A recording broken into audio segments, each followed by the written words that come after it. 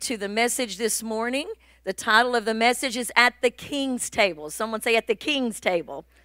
This is such a portrayal of grace, the grace of our Lord Jesus Christ.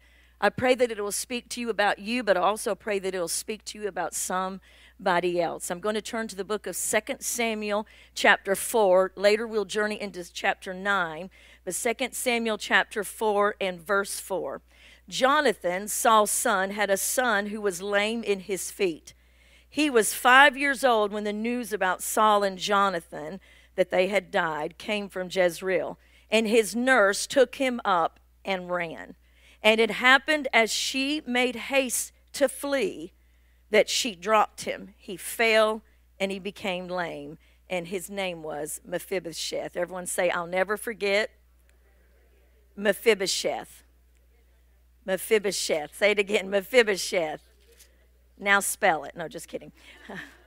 I can spell it for you because I've studied that name too long, but um, also want to read from Psalms 139, um, a familiar passage, 139, verse 7. Where can I go from your spirit, O Lord?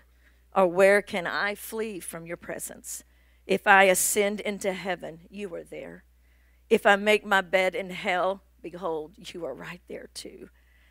Surely you are with me. The darkness and the light are both alike from you. Can you say amen?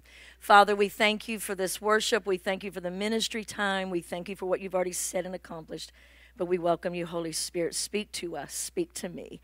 Come, Holy Spirit, and do what you do best and make alive the word. Whisper into my brother and sister's ears even what I don't. Church, strengthen us as individuals, strengthen us as families, and let us, Lord, be commissioned once again to sit at the king's table. And everyone said, Amen. At the king's table, a portrayal of true grace.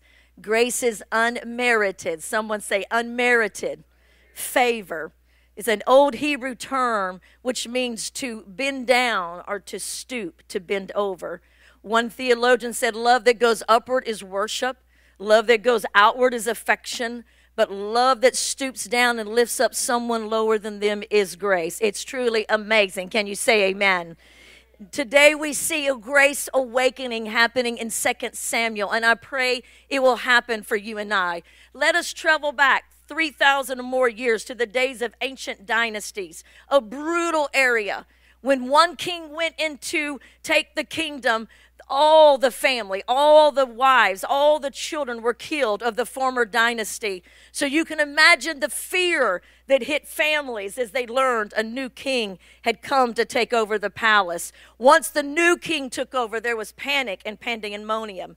And there was a little boy who was five years old named Mephibosheth. Say his name.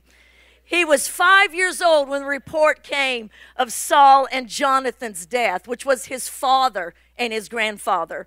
A nurse picked him up and she ran trying to get out of the palace before the swordsman could come and kill all the children. It wasn't a time to be alive as a king's son in those days. And it happened in her haste to leave to get out of the palace. She dropped him and he became lame. When she picked him up, his feet were crippled. He was dropped, no fault of his own. Maybe you've been there. Can I get an amen? Maybe someone dropped you. Maybe a failure in your life dropped you and you felt you became lame and you would stay crippled in your heart the rest of your life. But I have good news. Jesus Christ wants to heal, restore, and mend. Someone say hallelujah this morning. Maybe it was a circumstance that dropped you. Maybe it was an attack that came against you. Maybe it was a heartbreak. Maybe it was a decision you made and you dropped your own self. Anybody but me been there before? You dropped yourself. You got involved in some things. As we say, you dropped the ball.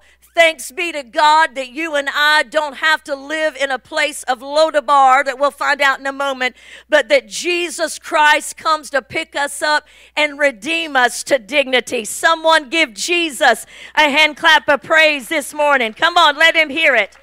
Thank you, Jesus. In 2 Samuel chapter 9, now David said, Is there still anyone who is left of the house of Saul? That I may show him kindness for Jonathan's sake. That's important. Everyone say Jonathan's sake. And there was a servant of the house of Saul. Listen to the no in the voice of this servant, whose name was Ziba. And so when they had called him to David, the king said to him, Are you Ziba? He said, I am. I'm at your service. Then the king said, Is there not still someone of the house of Saul to whom I may show the kindness of God? And Ziba said to the king, There is still a son of Jonathan, but he is lame in both of his feet. And the king said to him, Where is he? And Ziba said, He is in the house of Machir, the son of Ammiel, in Lodabar, and he lives there. Look at someone and say, Lodabar. Reason this is so important because Lodabar was the town of forgotten people. It's where the uneducated and the unskilled and the outcasts, the black sheep and the misfits. Am I talking to anybody today? Aren't you glad Jesus has raised us all out from being a misfit? Come on, somebody. Give Jesus a shout of praise this morning. Those who believed their lives were over, those who were living in Lodabar. Everyone say Lodabar. Lodabar meant a place that was barren, a place where nothing was happening. If I were a non spiritual spin doctor, a present day political commentator, I might say about those living in Lodabar, just settle down. You know what? Just make peace with your crippled self. Just make peace with your hurts, habits, and hangups. Just make peace and continue to live in Lodabar in a second class citizen community because that's all you were ever made to be. That's what the unspiritual or the religious would say. Can I get an amen? things will never get better. Anybody ever heard your own mind tell you things will never get better? He was so young, he couldn't remember the days of royalty. He was five when he was dropped. I'm sure his nurse that stayed with him never told him about the palace because she was probably afraid if he knew what was really inside of him, he would be so unsettled he might take his own life. You see, Mephibosheth could have built a memorial to days gone by instead of holding out joy and hope for tomorrow. But I believe, like you and I, when we're in a season of Lodabar, when we're in a season where it seems like nothing is happening, can I get an amen? A season that we can't see greatness. I believe that God Himself sings to the seed that's inside of us. That's because you didn't give up, because God was telling you in the season of Lodabar, there is more to you than you know. You just don't know it right now. Come on, somebody. Give Jesus a hand. That seed of greatness was buried in there. David said, I love the Lord because I cried unto him and he took me up out of a pit. He put my feet on the rock. He put a new song into my mouth, Psalms 40. And many shall see and shall fear the name of the Lord. I love the Lord because when I cried out to him in Lodabar, when nobody gave this once divorced single scarlet letter on her woman years ago at Lee College, there was a seed of greatness that God kept singing to me. I couldn't figure it out. I didn't know how it would look like, but I'm encouraged every man and woman in this room. Don't let the doubters and the fruit stealers and those that sing to you the mournful songs cause you to make a place in Lodabar when God has called you to the royal table of the king. Come on, somebody. Give him a shout of praise this morning. There had to be an awakening of grace in Mephibosheth's, Mephibosheth's life. See if I can slaughter his name. It had to be awakened. I'm sure hope spring up. You ever had hope to spring up like a fire only to be extinguished by others or by a situation? You think it's better, but no. But here is the cool thing. All the time Mephibosheth is living in Lodabar, a barren place, a forgotten place, a place where you don't feel like anything good is happening. God was orchestrating a plan. God was coordinating an idea that was going to make an itinerary that God had planned, make a travel agent look like she was just lame. Come on, somebody. You see, there can be seasons where you think this is going nowhere. There can be seasons where you think nothing is happening. But what you don't know is all the time. I heard Bishop Jake say when I was a young preacher, God is the quietest right before he moves in on the scene. Come on.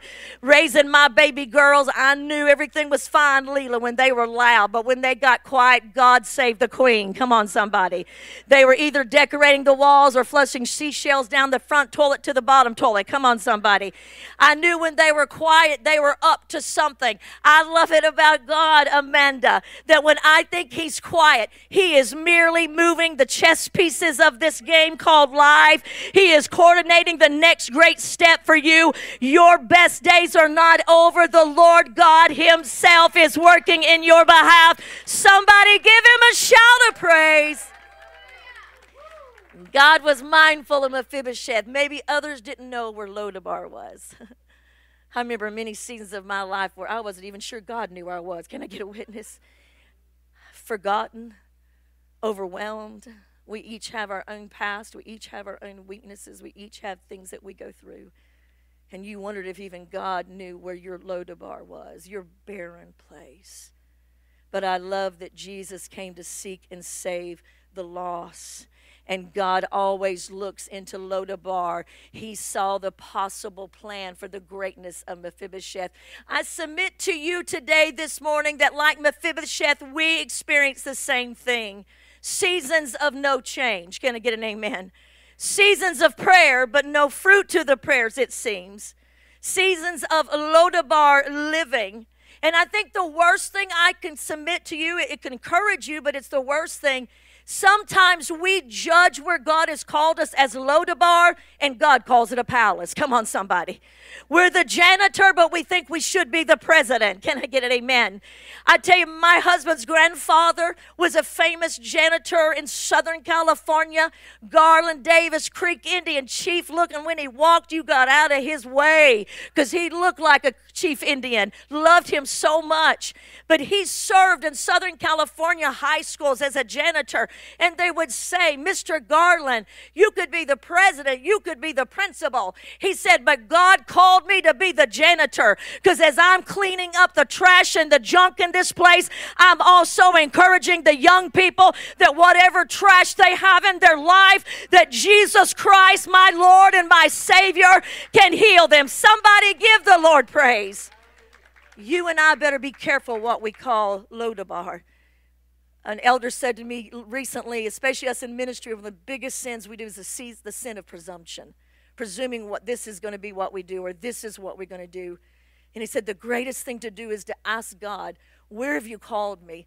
and then make that place the most awesome place in the world. We don't understand why we'd get called to Eaton or we'd get called to Whirlpool or some of these other places or to the radio station, but we better be careful that we don't label a Lodabar. There is Lodabar seasons. There's seasons that we feel forgotten and overlooked, but there's also seasons that the Lord, I feel like, whispers and says, You know what? If I was going to blog about you today, if I was going to write a, a Facebook post about you Dave, if I was going to tweet about about you, if I was going to IG about you, if I was going to Snapchat, I don't do that Snapchat craziness. But anyway, if I was going to do all of that, if I did it, you'd be surprised at what I'd say about you. It's not the days you thought you stormed the gates with 12,000 people behind you, but it was the days that you showed up and you were faithful and did not call your season Lodabar when you knew I had placed you in that place that you would be my light. Someone give Jesus a hand clap of praise.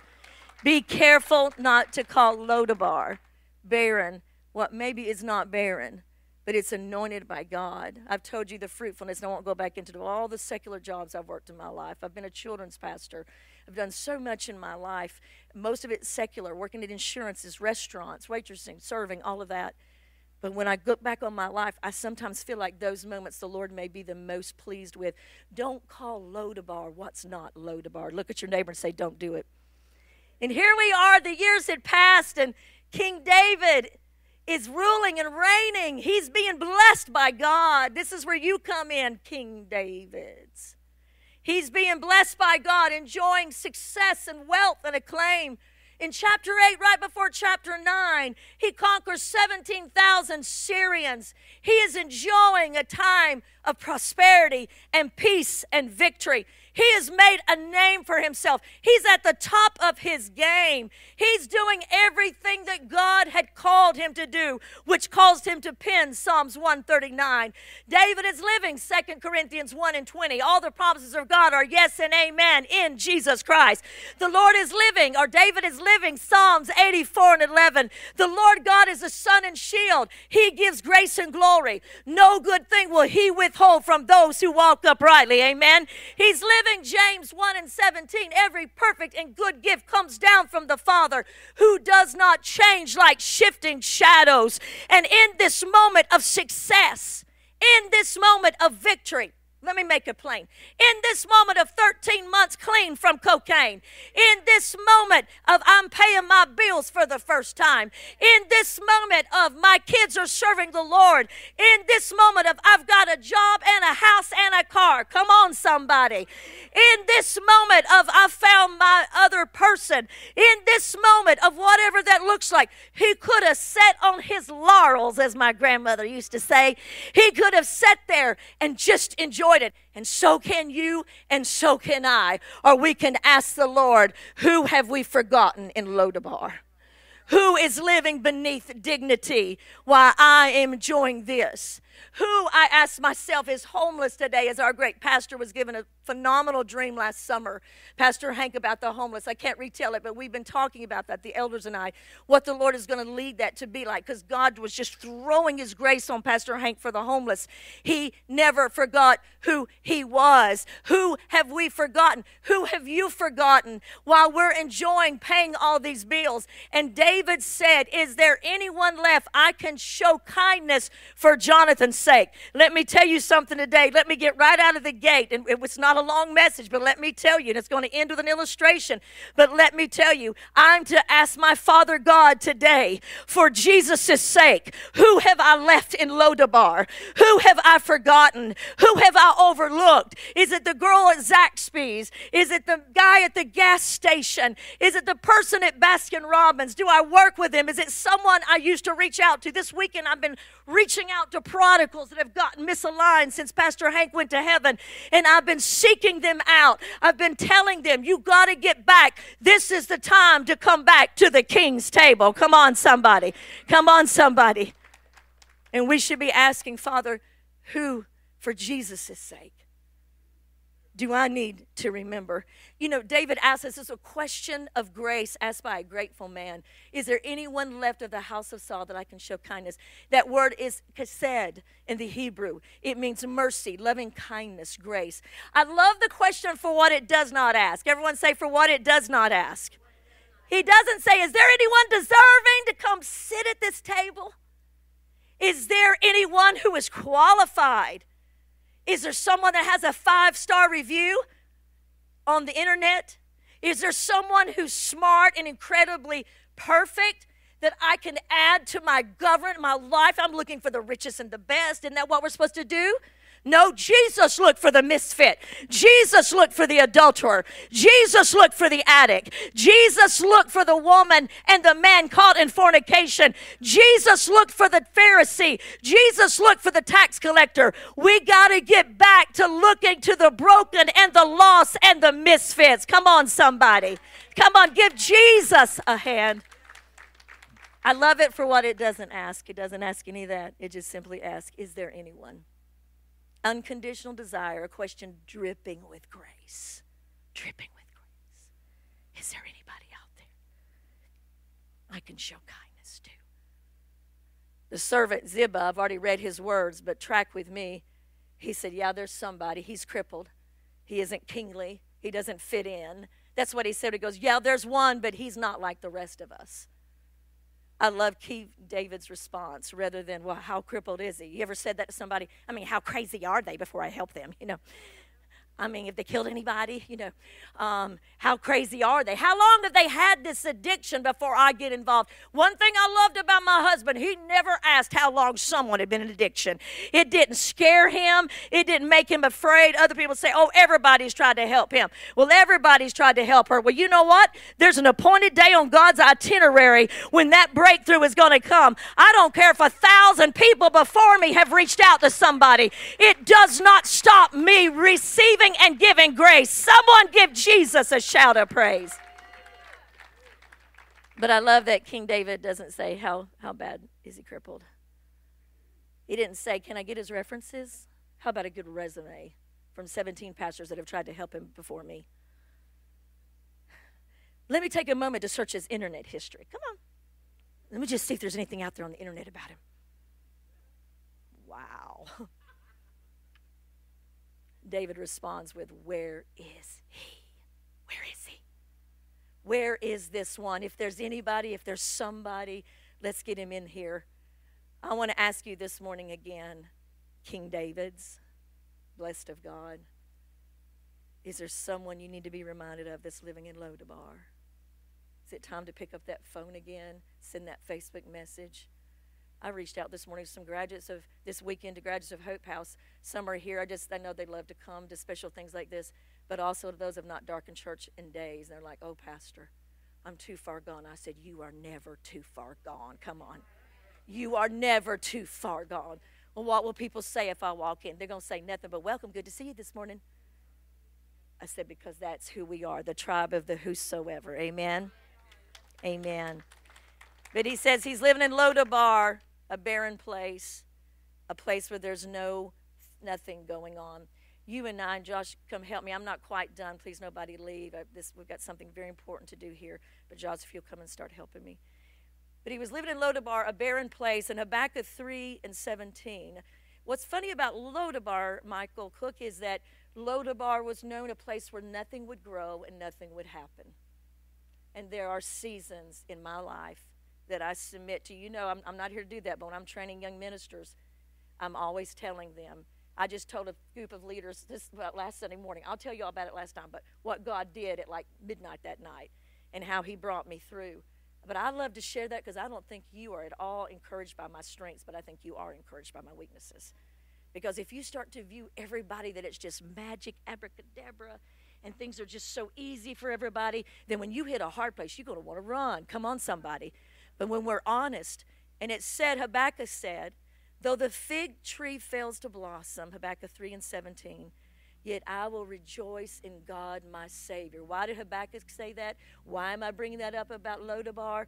Because even in a barren place, I'm going to rejoice. Even when I can't see anything happen, I'm going to praise Him because I know my God is too great of a divine orchestrator that He's got something wonderful happening. Give the Lord a hand clap of praise.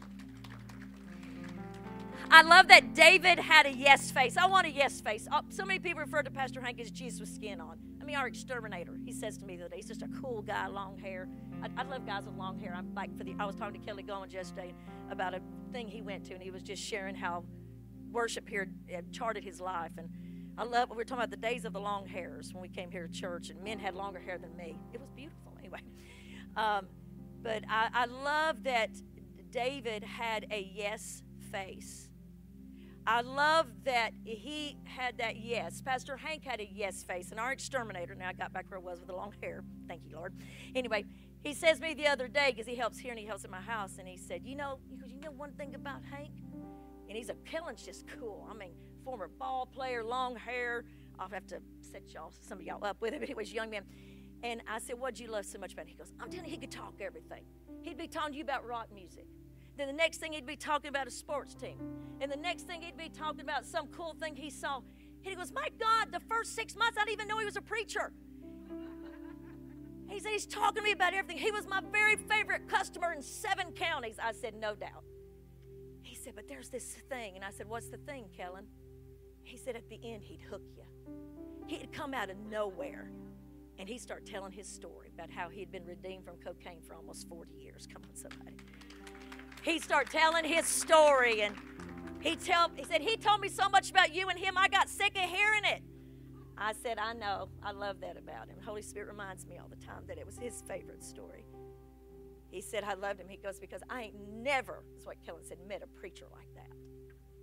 He said he was just cool. Big old truck he'd get his kz106 you know playing. I said and the next thing he'd have daystar singers on you never knew. He goes i know that's what i loved about him I love that Pastor Hank had a yes. I want to be someone that has more of a yes face. Are you with me? I want to be because in Ziba's face you hear a no, but in David you hear a yes. I don't care how crippled he is. Ziba says, well, he has, he's still crippled. He lives here. I know, but I don't think you want him to come. In 1807, there was a swollen river, and there was a group of men crossing on horseback, and they were fighting for their life. I mean, the bridge was going out, death was imminent. And there was a few people on foot that came across trying to cross with this, this seeing these group of men on horseback. And this one man knew he was going to die. He didn't have horseback. And he went to one man on the horseback and he said, Is there any way you can ferry me? I'm not going to make it. He said, Absolutely, son. Get on. When they crossed over, the men with the man that he got on the horse with said, Why did you ask him? Why did you ask him? Do you not know who he is? Said, No. Said, That's President Jefferson, the President of the United States of America. He said, I didn't know that, but this is the powerful statement. This is in one of the biographies about the president. It said, He said, All I knew is all of you had no on your faces. When I looked at him, I saw a yes. I want to be that person with that yes, don't you? Say, Help me, Jesus. Help me, Jesus.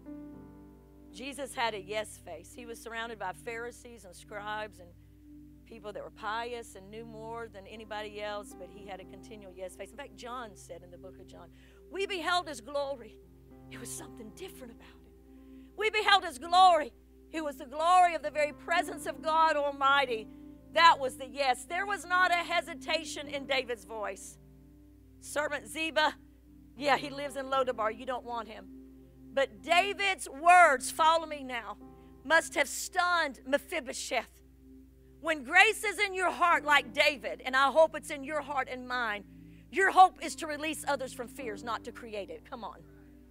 If I'm looking to create fear and judgment in you, I am not walking in the kingdom of Christ.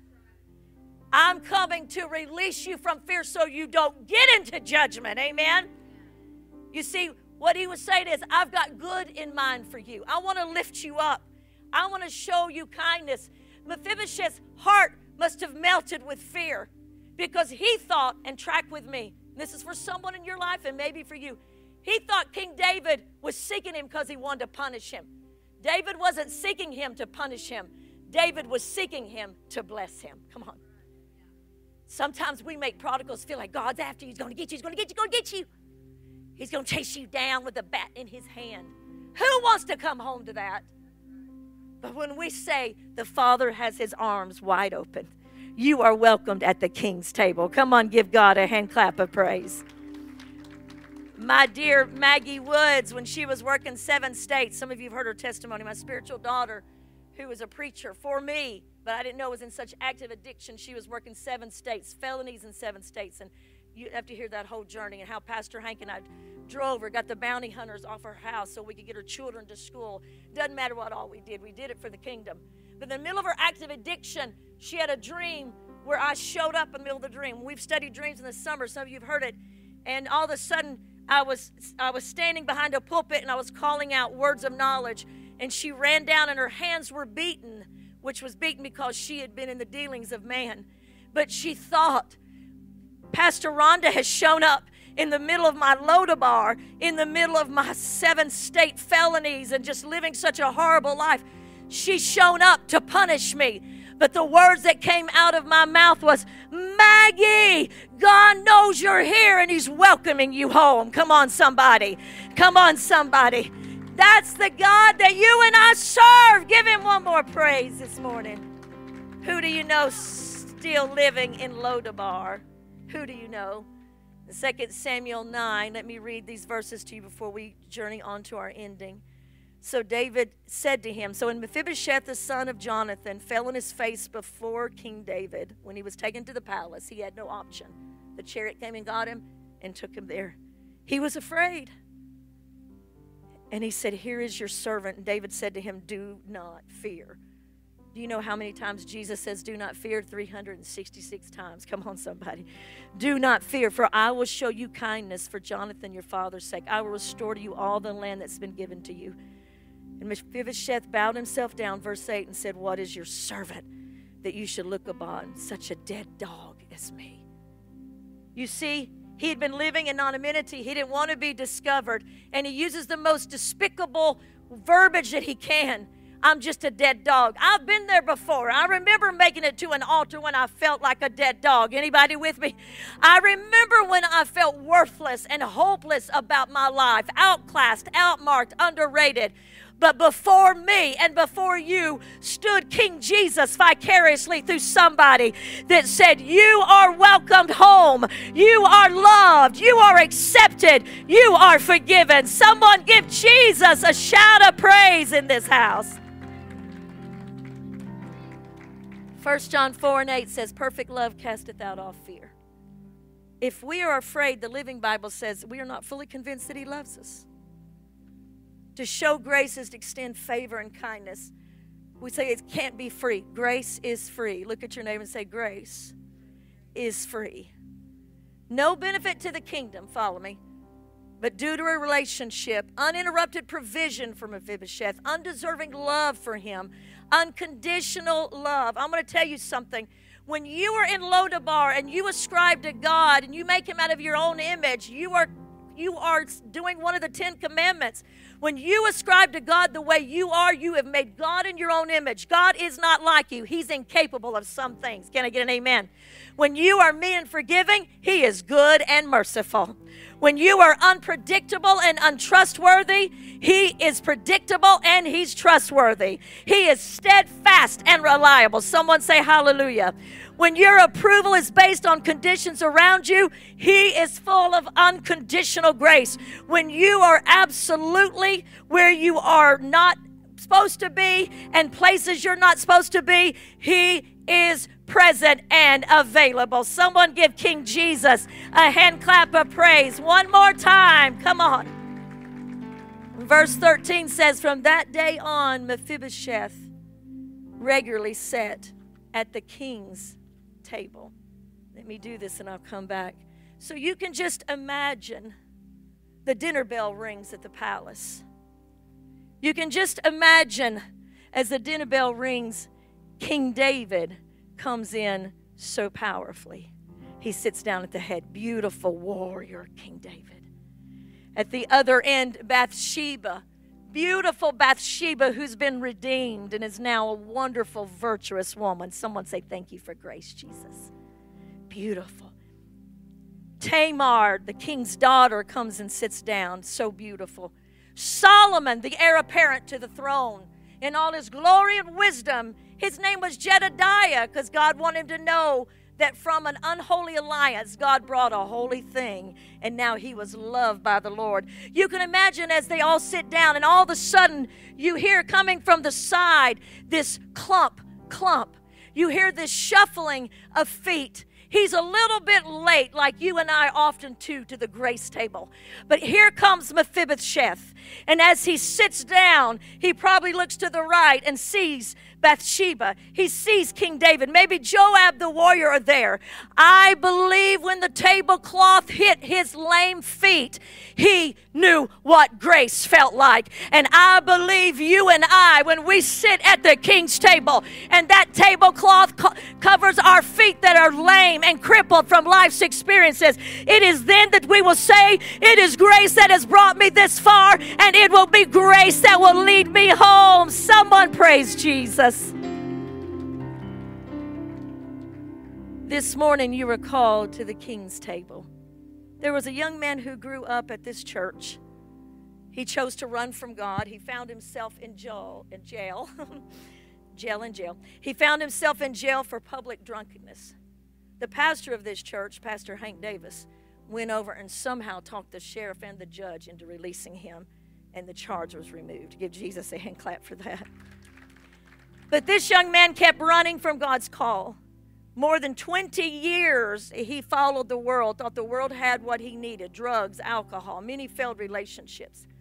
But in January 2016, he had had enough of the world and he ran long enough from God. So he ran then straight into the open arms of God Almighty, and he's been nestled ever since then. Please welcome Michael Brown to the King's table. Come on. Come on, please welcome Michael Brown to the King's table. Hallelujah. Pastor Hank didn't know he was getting his own future son in law out of prison. Come on, somebody. You can't make this stuff up.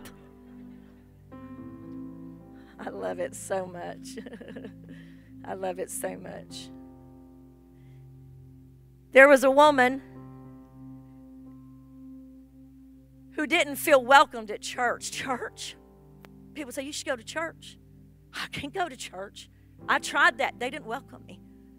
They said I wasn't good enough, didn't fit in. So she didn't do it. And about three to four years ago, a friend of hers invited her to this church called Harvest on Easter.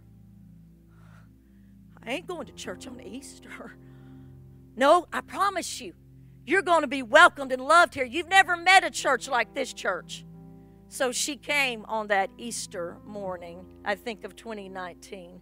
She found her family here. Come on, somebody.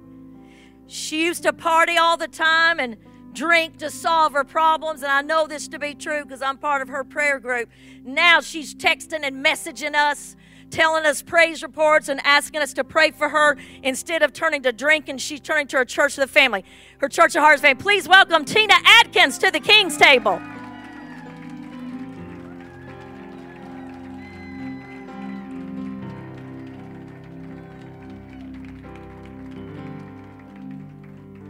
Didn't hug you, son.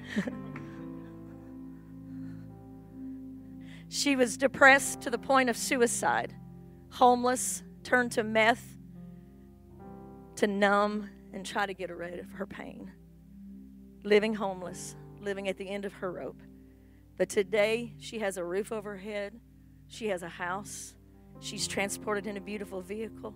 She's fed beautiful food and wonderful food three times a day. She goes to several different churches. This would be what we'd call her home church. She defeated her depression with praise.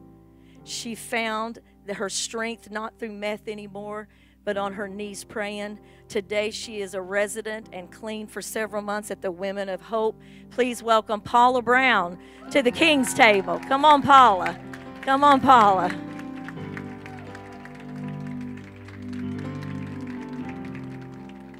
Beautiful of you. He was 23 years old, a newlywed found himself in the middle of a huge child custody fight and a baby toddler with his new wife. He was financially crippled, barely making ends meet, and then he lost his job. He felt like a failure as a husband, he felt like a failure as a father. But one day alone at his house, he fell on his face to God. He cried out to God and God met him that day and changed his life. And today he's beaten the kingdom of hell through his drums. Please welcome Tanner Carson to the king's table. Hallelujah. Hallelujah. Someone give Jesus praise.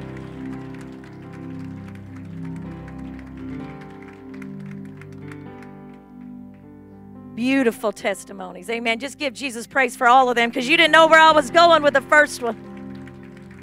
This is a table of redemption. This is what harvest has always looked like. In the beginning days, the Lord told Pastor Hank and I, if you will take those that nobody wants, they will soon become the ones that everybody wants. If you will not reach out your hand to the religious and the scribe, but you will reach out to the misfit, the addict, the wounded minister, the children of pastors that have forgotten who they were, and you'll welcome them to the king's table. I, the Lord, and I've seen this over and over again for 30 years, will raise them up to be mighty women and men of valor. Someone give Jesus a praise. Hallelujah. Come on, praise him in this house.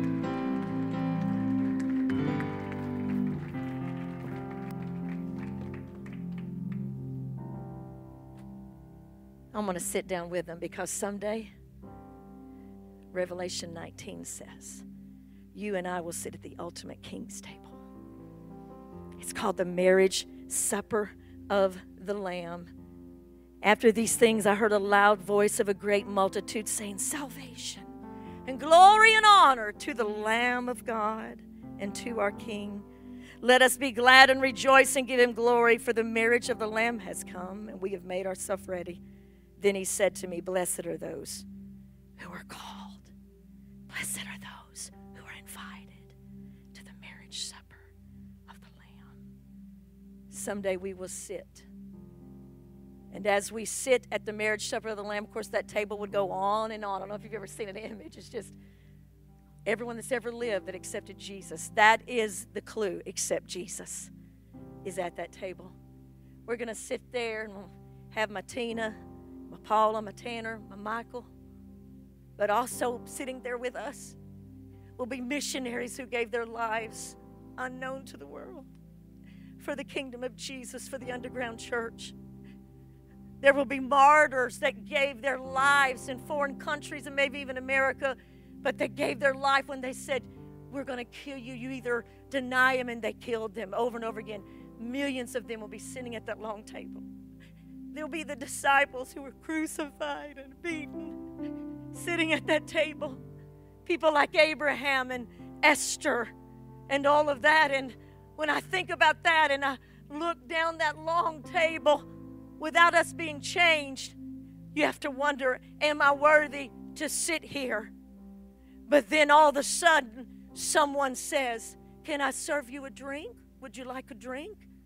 And when I look to my right hand, there's one who has scars in his hand with a towel over his arm, and it is the Lamb of glory serving all the inhabitants of the earth who he has redeemed by his own blood for the sake of Jesus Christ. I will be worthy to sit there when that tablecloth hits what is no longer crippled, feet that have been redeemed. I will say, You are worthy. Of it all, Jesus. So today I commission you before I have you stand and pray, but right where you're seated, I ask you, who have we forgotten in Lodabar? Who can we show mercy to? Mephibosheth ate at the king's table for the rest of his life regularly. If in our mind we're sitting somewhere lower than this, if our mind we're thinking somehow we're not worthy, we're just dead dogs or maybe we've camped out in a mental place of Lodabar and ascribed to something the perception that it's not quite what we wish it was. And God said, This is holy. Who do you need the Lord to speak to you? And what do you need Him to speak about you today? If you'd stand, if y'all would just stay here and pray from here, if you'd stand all over this room, right where you are. I want to pray over you, and then I want you to pray with each other. I want to ask you today, have you are you are you mentally living in Lodabar when you're really not in Lodabar? Are you believing the lies of the enemy that your life is not what it should be or can be?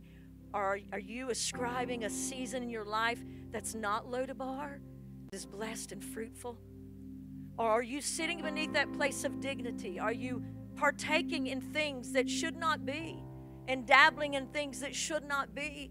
And the king is saying, My arms are open wide. Come to me. I will help you, I will strengthen you. I'm not seeking you to punish you, I'm not seeking you to destroy you. I'm seeking you to heal you. And then who today do you need to ask the Lord to help you that's living in Lodabar, a place beneath dignity? If you just close your eyes, I want to pray of you. Father, I thank you in the name of Jesus for those listening by podcast. I thank you for those in this room most of all. Spirit of the Lord, for those that have ascribed a season as Lodabar, a barren place when it's not. Lord, let us watch the words of our mouth and the meditation of our heart. Lord, let us not despise places you've put us for your glory, Jesus. Let us know that where you have called us, it, uh, being a janitor is greater than living in a palace if that's where you've called us. Lord, don't let us ascribe to our personal self that we are a dead dog or lower than a dog like Mephibosheth because of where we've been living and what we've been involved in. Let us remove that verbiage from our mouth and from our mind and begin to speak. We are children of the Most High God. Lord, your word says in Ephesians 3 you have adopted us into the kingdom. You have called us your very own sons and daughters. Let us rise up, Lord, not only to sit at the king's table vicariously as we live our life, but also, Lord, help us to remember those. If Rhonda Davis or anyone else listening today is at a place of victory and freedom, and are, is not remembering those that are still living in Lodabar. Awaken us with grace. Don't let us presume how it looks. Let us just be Jesus with skin on. And most of all, let the yes be on our face and the yes in our heart. Let us be the ones they want to talk to, Lord, that we may fill this house with the lost. In Jesus' name I pray. And the church said, Amen. Give him one more praise before we pray. Before we close, I just want you to get someone's hand or go to someone and just that you know. If, if you don't know someone, please don't feel uncomfortable. But I want you to pray over them. I want you to pray over their position and their influence. I want you to pray over them like they are a King David, that they will obediently call others in. Would you do that right now? Father, in the name of Jesus, I pray for this hand that I'm holding or I pray for myself. Lord, I acknowledge today that every person in this room has influence and position. Lord, don't let them by the lies of the devil that they're in Lodabar because of where they work or what they do, or be looked down on any point. Lord, let them accept today you have given them position and an influence. It's not the right words, it's the right heart. It's not the right theology, it's open arms to grace. Lord, I pray that you would commission each one of us as ambassadors of Jesus Christ, that we would begin to use the influence you've given us. We would stop looking for big doors and open through the doors right before us. Use us as a church body, Lord. Let another influx of addicts and those that are hurting and the wounded ministers come in, Lord. Raise up new ministries in this house. Raise up and do even greater things than we've seen before. Let them come, Lord, and let them be raised up that the King's table of Jesus Christ at Church of the Harvest would be full. We call it done in the name of Jesus. And everyone said, Amen. One more praise to him for we're done. One more praise to him. Hallelujah to the King. Anybody thankful for grace today? Anybody thankful for the King's table? For the sake of Jesus, God has accepted me.